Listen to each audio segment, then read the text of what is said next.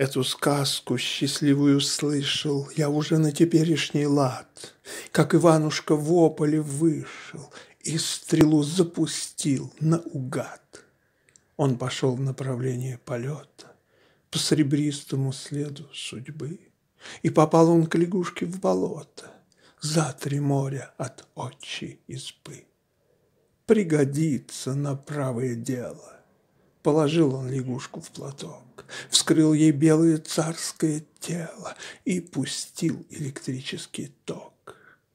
В долгих муках она умирала, В каждой жилке стучали века, И улыбка познания играла На счастливом лице дурака.